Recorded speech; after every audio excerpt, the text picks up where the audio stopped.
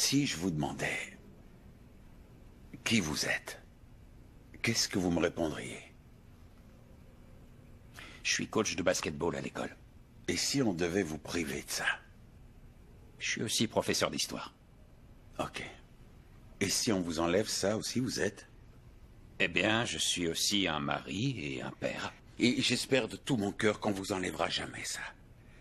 Mais si c'était le cas, qui êtes-vous?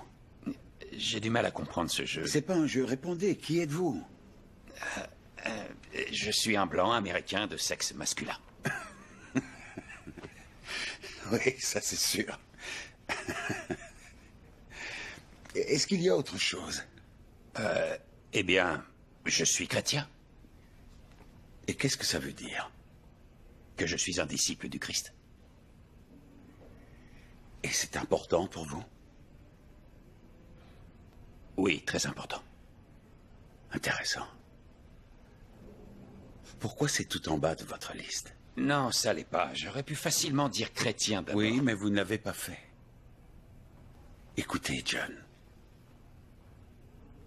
Votre identité est forcément liée à ce à quoi vous donnez votre cœur.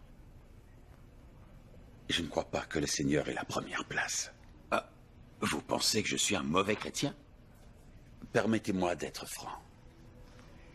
La dernière fois que je vous ai vu, vous avez dit que vous prieriez pour moi. Vous l'avez fait.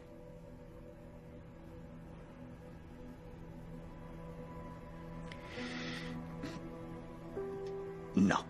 Non. Vous êtes une personne qui connaît le Seigneur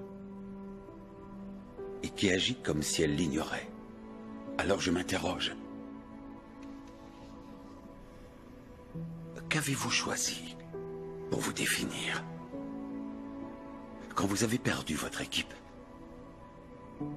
vous n'avez pas seulement été triste, vous avez été anéanti. Quelque chose ou une personne occupe la première place dans nos cœurs.